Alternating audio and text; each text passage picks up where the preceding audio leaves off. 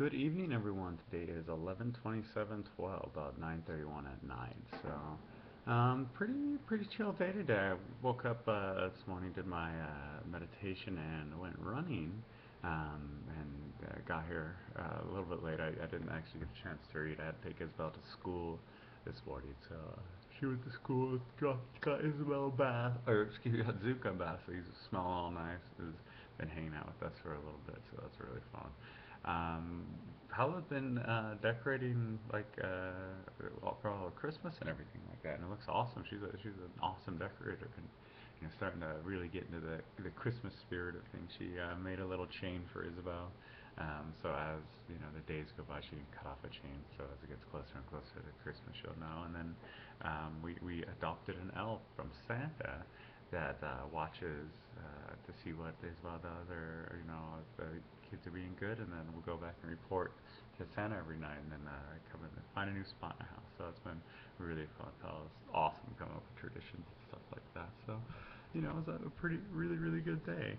Um, went and worked out for a bit today. Did some, uh, what was it, some shoulders and back, and uh, like some biceps and some legs. So, oh yeah tired. Uh, kids are kids are we've been running around a lot, having to take Isabel places. Drove around a lot today.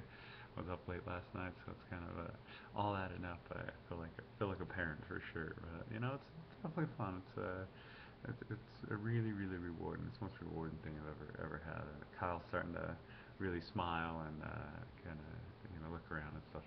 So it's, it's really sweet. Um, yeah, but you know, I didn't, uh, don't have uh, much else to report. Uh, went and I actually went to the doctor's, uh, my oncologist yesterday for um, uh, just a follow up with Dr. Ankor over at the U, and he did. He's the one that did the radiation.